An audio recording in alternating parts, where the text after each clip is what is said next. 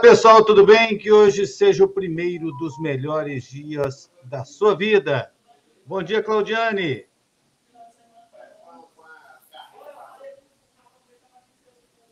Tá me ouvindo, não, Claudiane? Agora estou ouvindo. Acho que eu voltei. Ah. Bom dia, André. Estamos aqui na redação FC. Estou animada demais. Uma pena a internet aqui que deu uma falhada. Mas vamos falar aí dos times goianos, né? Das novidades que está pintando no Goiás, no Vila Nova. Vamos falar também do Atlético que tem Copa do Brasil nesse meio de semana. Pois é, fechou agora o é, a janela, né?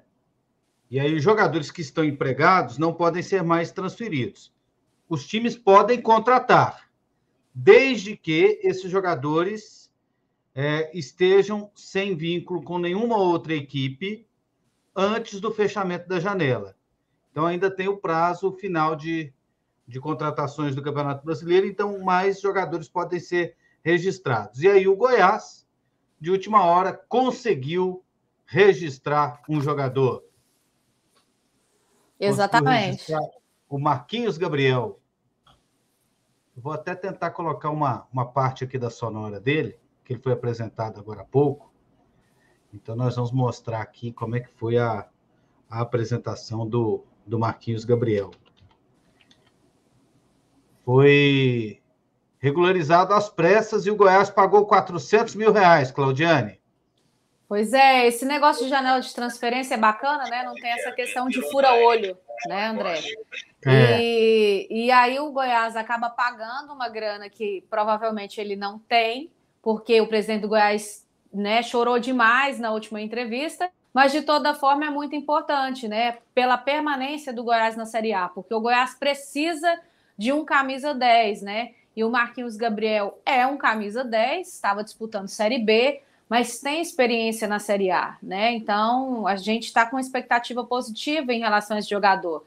Tem apenas 32 anos, ele estava no Criciúma, Inclusive o Criciúma tentou, né, que ele permanecesse por lá, mas não deu certo. Ele realmente tem um objetivo diferente, né, é, que é jogar a Série A, tá numa vitrine maior. Então ele vem para realmente suprir aquela ausência, né, que o Elvis deixou. Mas é um camisa 10 a gente já fala, né, uma grande responsabilidade essa posição. Pois é, né? Vou ver aqui se a gente já coloca aqui a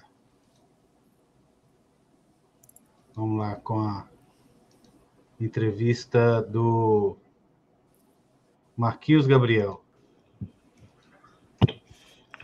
Bom dia, Marquinhos, Tandara Reis, do Sistema Sagres. Você estava no Criciúma, a gente sabe que o Criciúma se esforçou para que você não saísse. Queria te perguntar o que, que te motivou a assinar com o Goiás. Ah, bom dia, primeiramente é um prazer estar aqui. Ah, eu acho que a grandeza do clube né, e os objetivos uh, meus pessoais de estar tá disputando de novo uma Série A.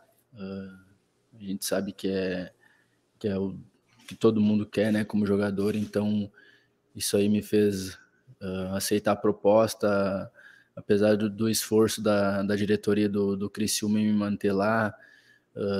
Era um clube que me acolheu muito bem. Então, uh, mas hoje estou muito feliz aqui. Tenho os meus objetivos, tenho os objetivos do clube agora que que a partir desse momento aí é trabalho duro para conquistá-los. Bom dia, Marquinhos. Aqui Vitor Pimenta do Mais Goiás. Marquinhos, eu lembro de você em duas passagens marcantes na sua carreira, que foi pelo Santos em 2015 e pelo Corinthians em 2006. Naquela ocasião você ainda era um garoto, hoje você é um cara mais experiente. É, o que, que mudou daquele Marquinhos de 2015 e 2016 para o Marquinhos de hoje, mais experiente e voltando à Série A depois de dois anos? A gente ganha muita bagagem né, nesses, nesses clubes que a gente passa, muito aprendizado. Uh, acho que no Santos foi a minha melhor passagem né, que eu tive em um clube e depois acabei me transferindo para o Corinthians e aprendi muito nessa, nessa caminhada. É, chego aqui muito mais experiente, com muito mais, mais rodagem e sabendo muito bem o que eu quero. Uh, então é colocar tudo em prática que eu aprendi nesse, nesses momentos aí fazer tudo dentro de campo. Oi, Marquinhos, Solis.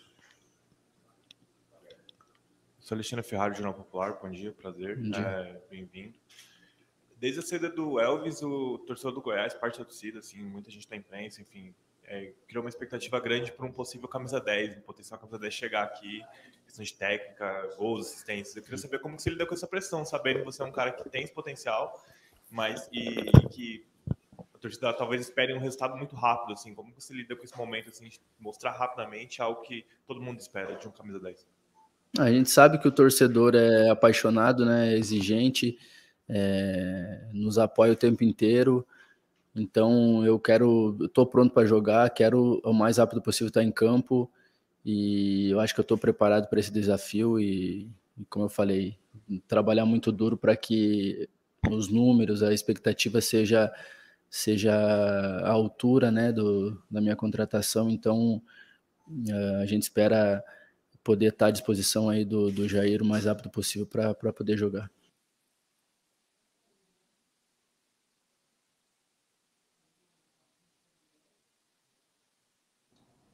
Tá aí o Marquinhos Gabriel apresentado lá na equipe é, do Goiás. Claudiane, você me ouve? Aham, uhum, agora sim. É porque eu acho que estava mutado, aí você desmutou, é. agora eu estou te escutando perfeitamente. É, é, a, sua, a sua imagem é que está congelada. Ah, é? Meu Deus. É. Você quer sair aí e voltar? E aí, Vou fazer isso. Vou registrar aqui a participação da galera. Vamos lá. Bom dia, parabéns pela live. Qualquer outro treinador terminando na lanterna tinha sido demitido. Parabéns ao Marcelo Paz, pois nenhum dirigente teria peito para segurar. Foi verdade, né? Tanto tempo na lanterna, tanto tempo na zona de rebaixamento, e aí o Voivoda não foi demitido da equipe do Fortaleza e o Fortaleza saiu da zona de rebaixamento. Ainda tem muita coisa para caminhar no campeonato, mas parecia em certo momento de que o Fortaleza não sairia mais do, do Z4 e conseguiu sair. E manteve o treinador. E agora é, é uma questão de mudança de cultura, né? Por exemplo, lá no Fortaleza, jogador vai ter a convicção de que quem manda no Fortaleza é o treinador. Que não adianta ele se acomodar que quando os resultados ruins vierem, a primeira cabeça a rolar vai ser do técnico. Não. Está estabelecida a hierarquia. Porque muitas vezes no time de futebol, que troca muito de técnico, o jogador, ele, no subconsciente dele, ele sabe que se der alguma coisa errada, vai, é, vai sobrar para o treinador e não vai sobrar para ele. Então, o treinador ele foi mantido mesmo com o Fortaleza numa fase terrível. E agora o time recupera a fase e começa a se recuperar dentro do, do campeonato. Então, é uma, que, é uma questão de é, dos dirigentes saber manter a sua convicção. Vou te citar um exemplo, Claudiane. O Vila Nova não tinha vontade de demitir o Igor. Demitiu por causa da pressão. Aí trouxe o dado Cavalcante, o time piorou e agora está tentando recuperar com Alan Al. Talvez tivesse convicção lá atrás, tivesse mantido o Igor. Talvez o Vila Nova estivesse recuperado nesse, nesse momento. Então, o dirigente tem que ter convicção e tem que. que e o jogador ele tem que saber que é, se ele perder, não é na, a, a, primeira cabeça a rolar não vai ser do técnico. E assim é no, no futebol eh, europeu. E assim é na, nas grandes equipes, né? Independente do resultado, o técnico é sempre mantido. É, a gente pode citar também não só o Voivoda, e você citou aí o Igor Magalhães, que na época foi demitido, foi diferente. É, eu posso lembrar que o Maurício Barbieri no Bragantino. Então, a gestão ela tem que ter um planejamento muito bem definido, né? É, coisa que a gente não vê no futebol goiano. É, por exemplo, no início do, do ano, o Goiás né, acabou trazendo o Paulo Tuori, aí trouxe o treinador junto com ele e de repente mudou. O Vila Nova estava com o Igor, já mudou de repente. O Atlético trocou de treinador. Enfim, tem que ter assim, uma coisa definida, porque o trabalho também ele só vai render a longo prazo, não é assim de imediato, né? Tem que ter os pés no chão, tem que trabalhar com a realidade, por exemplo, do elenco que ele pode contratar e a questão do estilo de jogo também. É verdade. Olha aqui, o Renato Jaime. Bom dia, meus amigos. Sobre o gol anulado do Pedro, o juiz deu o gol e o VAR chamou para anular o gol. Sem nenhuma imagem de certeza absoluta. Dá a impressão que pega, mas certeza impossível dizer. Sempre isso. Vamos dar uma olhada aqui no lance? André, eu olhei esse lance hoje. Nossa! Olha, eu, eu para mim, a arbitragem acertou nessa, nesse lance. Para mim, acertou. Deixa eu preparar aqui. Vou colocar aqui para a gente ver. É feito para você vender mais. É o resultado de mais de um ano de trabalho. É, é o braço, olha o braço! Foi direto, hein? Passou direto. Tudo bem, tá tudo bem. Ok, é, tô bem. Está claramente de trás. Ele chuta o defensor, mas foi Pode jogar, vamos lá. Ó, é, no meio das pernas. Joga, aqui, joga, joga! Acidental. Ataque. Gol. Pode jogar! Vai na área, manda no 11. Olha a finalização. Vamos lá. Ajustado, tá? No primeiro lá. Deixa eu ver se bate na mão do Aguarda, atacante. checando Põe na gol. finalização, na microcâmera na finalização. Microcâmera finalização. Solta. Solta. Para, para, para. Para no de voltar. Ok. Possivelmente bate na Aí, para mim, nessa, nesse ângulo aí, ó. Aguarda, Para no checando. ponto de ângulo, contato. pra mim, Para no Aguarda, ponto de contato. A bola com a checando. mão. Isso. Grava Você isso. Grava isso. limite igual do outro Ok. lado. Grava isso. Não Volta, volta. Volta. Isso. Agora põe velocidade normal para mim. Ok. Isso. Deixa eu ver. Aguarda. Ok, checando cima A goal line pega na mão do atacante. Flávio, aguarda, checando possível mão de ataque. Ok. Aguarda. Ok. E ó, para no contato da bola com a mão. Aguarda, checando possível mão de imediatez. Aguarda. Uma Isso. possível mão no A bola toca na mão do atacante, Amanda. É Ela muda a isso. trajetória. Agora volta. Isso, velocidade Possível normal. Isso. Põe aquela câmera que É, pega. Batendo na Não, mão é o dele. possível mão. Tá Essa. checando do cara que... Vamos ver se ela muda a trajetória. Deixa eu ver se ela muda a trajetória. Põe a bola murchando no Não, não, lá, lá tá Ela muda um pouquinho a trajetória e a bola para no contato que ela murcha aqui no braço aí, dele. Foi- Põe a bola murchando no braço dele. Isso, tá vendo? A bola murcha no braço dele. Isso. Flávio, Onde que ele tava? lance factual. A bola bate na mão do atacante e entra no gol. Calma, velho. Cara, pegou na mão do atacante lá. Na pequena área. Na pequena área, o, o atacante que fez o gol. Não precisa, porque é factual. Bateu no braço dele. Sabe quem vai saber dizer, André? Só que é claro Ah. que vai falar, né? O Pedro Raul. O, o Pedro Raul não reclamou, né? É, exatamente. Ele não reclamou. Esse é, esse é, é o sintoma que eu, que eu coloco ali. Eu, Para mim, eu acho que, que desviou sim. O que dá para questionar é um suposto pênalti no Vinícius. Isso. O jogador do Havaí chega atropelando o Vinícius na, na área. Até foi fora do lance de bola. Vinícius não ia fazer o gol, tal, então foi uma. é, foi até fora do lance, porque o goleiro já estava segurando a, a bola com a mão lá, já estava. Já era da defesa do, do Havaí, e aí chegou atropelando. Então, e- esse lance até é, é questionável, acho que ele deveria ter sido analisado melhor pelo VAR. Concordo. É. Ontem a gente estava falando sobre isso, né? Agora do Pedro Raul, André, eu não vi, por exemplo, a bola mudar o percurso dela, mas a gente vê, né, que a bola resvala Resvala. ali no braço do Pedro Raul.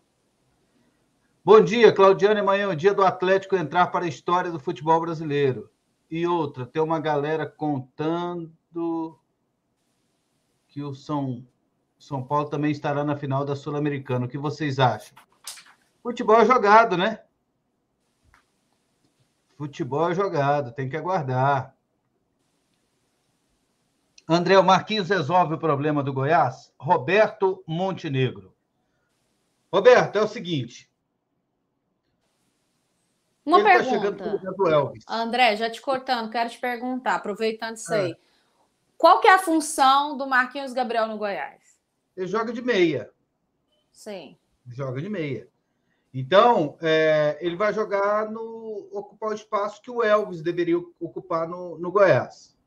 Então, é o seguinte: É da assistência. ele chega para resolver um problema do Goiás.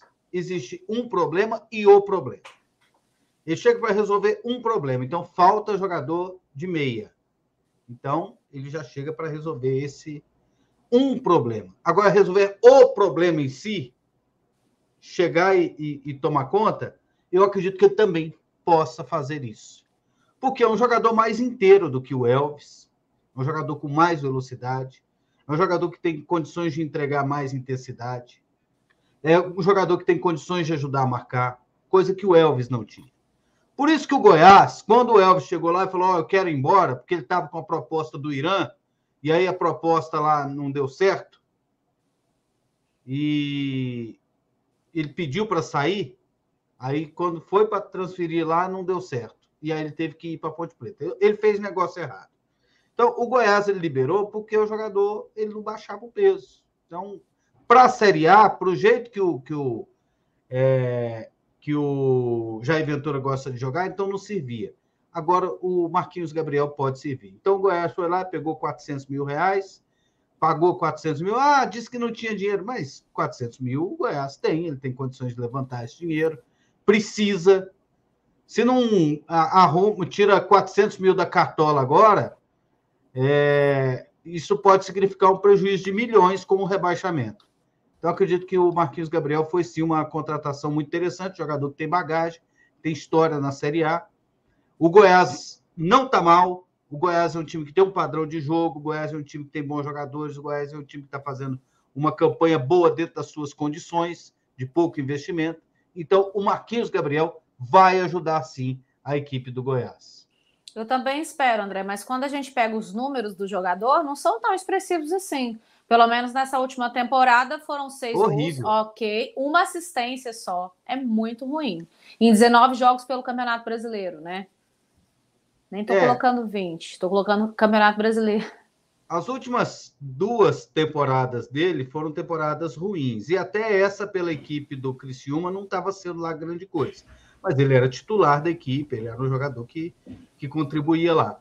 No Vasco ele foi muito mal. Mas quem foi bem no Vasco no ano passado?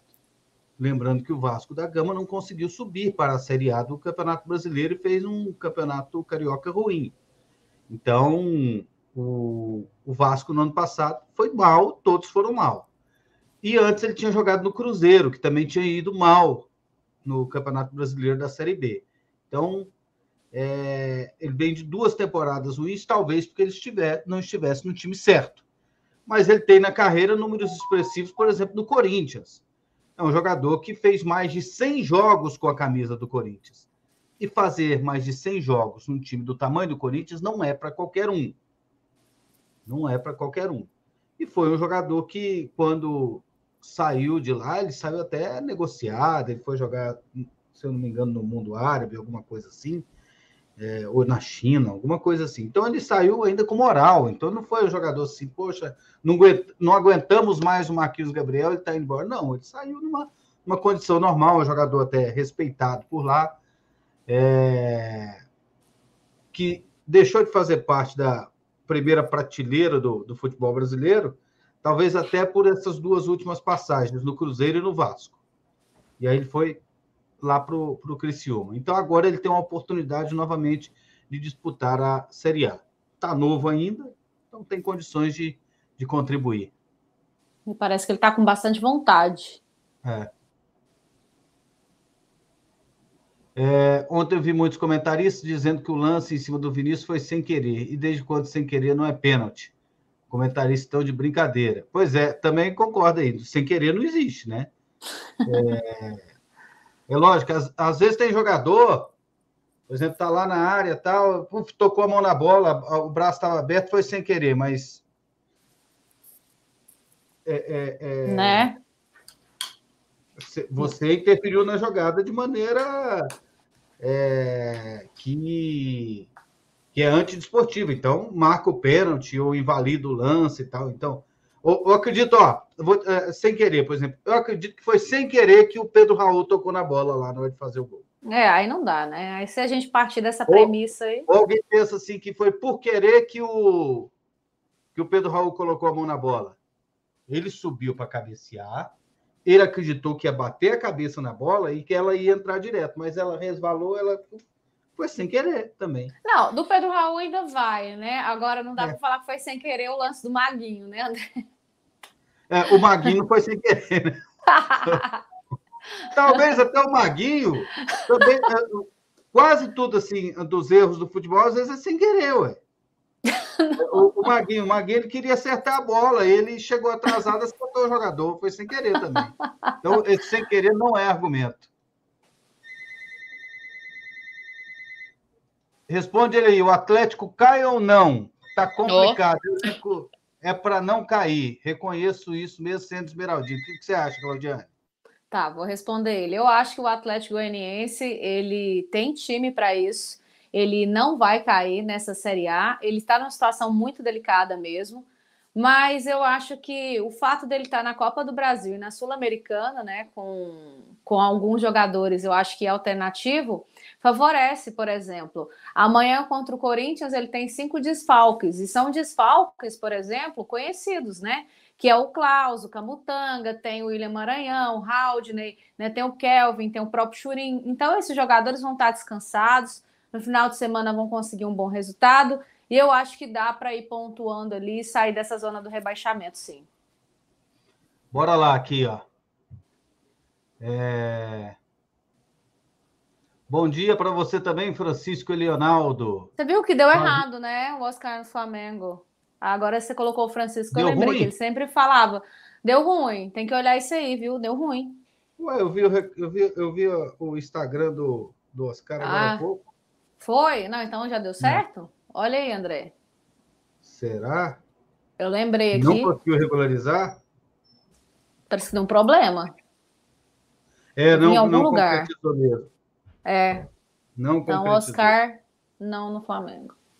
É, ele aqui, eu agradeço o interesse do Flamengo e da torcida, mas não foi possível concretizar nesse momento. É. Desejo muita sorte ao clube e a todos os amigos que tem por lá no restante dessa temporada. Obrigado a deu todos. Deu ruim, deu ruim, deu ruim. Ruim. O Xangai Port não liberou. É. E aí, Atlético vai entrar para a história. André, ah, amanhã passa, né? Amanhã é o Corinthians, vai passar?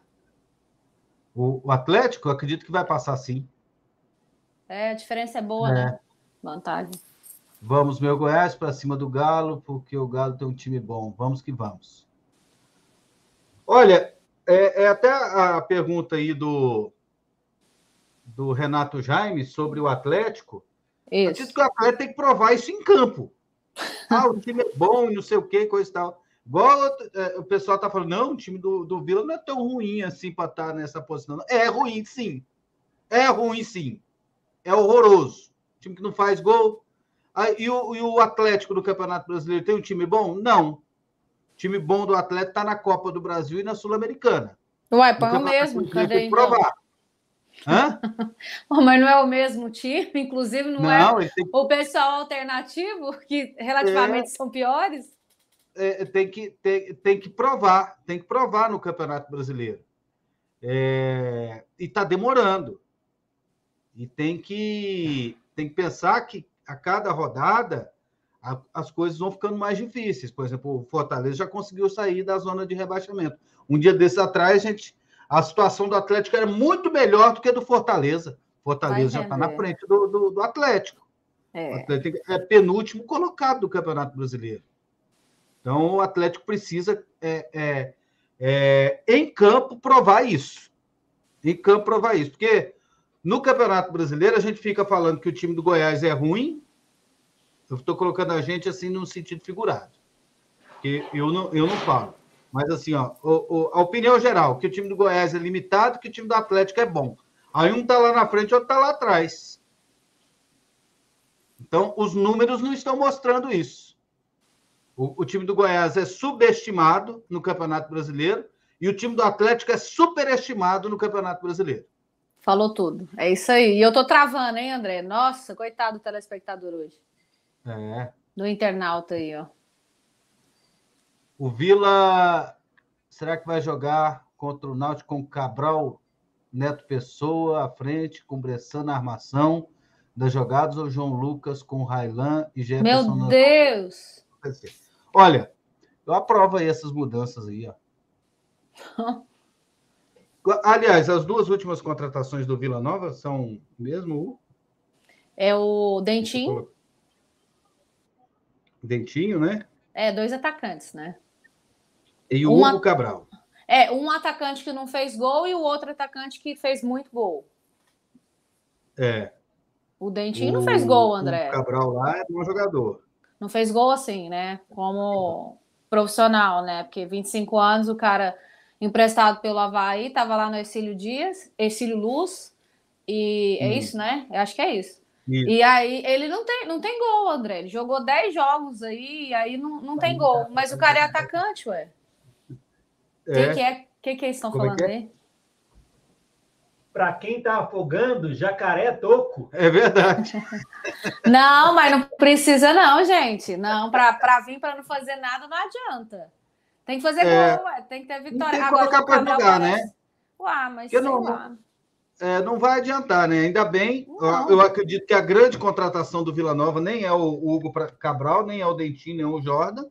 Quem foi é? o, o Pablo Diego, que foi para a equipe do Havaí. Essa foi a, a, a, o, o, grande proveito que o Vila Nova tirou nessa, nessa janela. É, e o Vila Nova teria recebido um valor pela, pela compensa, é, a compensação pela liberação do Pablo Diego. Ai, ai, ai. Diz que o investidor Nossa. pagou isso aí. Aí o pessoal está falando que investidor é torcedor do Vila Nova, algum torcedor do Vila que pagou. Só se for, viu? o cara. Ô, Frederico, e o, o treinador e do Vila série A. Ó, se, se, se o Vila Nova agora contra o Náutico jogar com o Wagner, não podemos largar de mão desse trem. Ah, não. Pelo amor de Deus. Ele tem que mudar. Senão eu já tô querendo que o Igor volte. Aí, ó. Se foi pênalti ou não, não importa. Não vai mudar nada mesmo. Tá dizendo Zé Cláudio. É, já era, mas, né? Tem... mas é resenha, né, Zé Cláudio? Ah, é resenha. Falar assim mesmo, né? resenha pós-jogo. Aqui, ó. Bom dia. As últimas contratações do Goiás chegam de fato para jogar ou para ficar no banco? Na visão de vocês, o Goiás garante a permanência ou o Jair vai renovar para 2023? Acho que o Goiás permanece o Jair renova. Fácil não vai ser. Porque ultimamente o Goiás está mais tropeçando do que ganhando. É, eu tinha uma perspectiva do segundo turno ser melhor, mas talvez não seja. Mas o Goiás tem uma tem condições de permanecer sim, e aí o Jair tem que permanecer, porque é um dos melhores técnicos que o Goiás contratou nos últimos tempos. Essa seria a ideia, né? Bem assim, bacana, né? Em relação à gestão e tudo, permanência. Mas, André, eu acho que o Goiás consegue permanecer, mas eu acho que o Jair vai ter outras propostas, né? Melhores. Eu, eu creio que ele não vai renovar com o Goiás, não. Ele não é de falar sobre isso, né? Mas eu acho não, que, inclusive, ele já foi sondado já. Bom dia, André e Claudiane. O Atlético está de parabéns até onde chegou nas competições, mas está na hora de priorizar o brasileiro? Fábio, tá priorizando. Passou da hora. O time, é, o time na, na Sul-Americana foi alternativo. Marlon Freitas no banco e tal, o Elton Rato. E aí voltou todo mundo contra o Botafogo. Está priorizando. Tem que priorizar o Campeonato Brasileiro mesmo, porque é o Brasileirão que paga as contas. Se o ACG fosse campeão da Sul-Americana, Copa do Brasil e rebaixado no Brasileiro, seria bom financeiramente para o clube ou não? Olha, ser campeão da Copa do Brasil dá mais de 60 milhões de reais, né?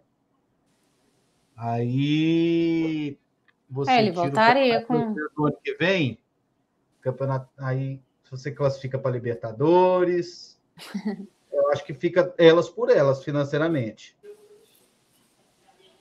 É, sendo campeão da Sul-Americana e da Copa do Brasil, financeiramente deve compensar a não participação do Campeonato Brasileiro do, do ano que vem. Porque o Campeonato Brasileiro já para o Atlético, assim, rende em torno de uns 50 milhões por ano, né? Aí você tira essa, essa, essa receita. André e Claudiane, bom dia. Vocês vão trabalhar na Copa do Mundo fazendo algum tipo de parceria? Tá chegando, hein?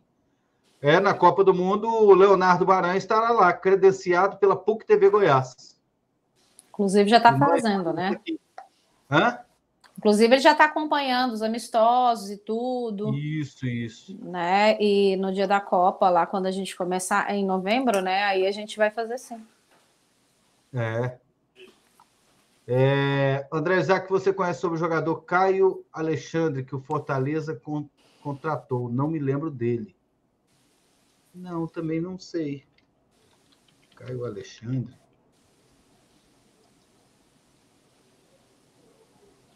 Jogou no Botafogo, né? Jogou no Botafogo. Vamos ver, né? Claudiane, ruim se ele não tivesse jogando, não tivesse dado assistências e gols. Goiás é vitrine. Sim. Já tem quatro jogadores do Goiás que não ficam para a próxima temporada. Concordo, mas é porque eu achei pouco, né? Mas pelo menos deu, né? Claudiane, meio-dia e 45 tem o Brasil Esportes. É isso aí. Até lá, André. Bora.